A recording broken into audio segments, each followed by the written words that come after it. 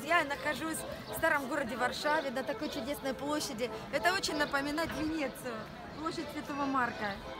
Здесь играет музыка, сегодня еще удивительно такой солнечный день, прикольно.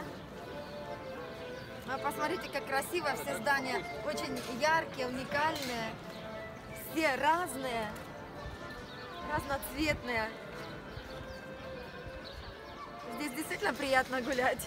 Приезжайте в Варшаву.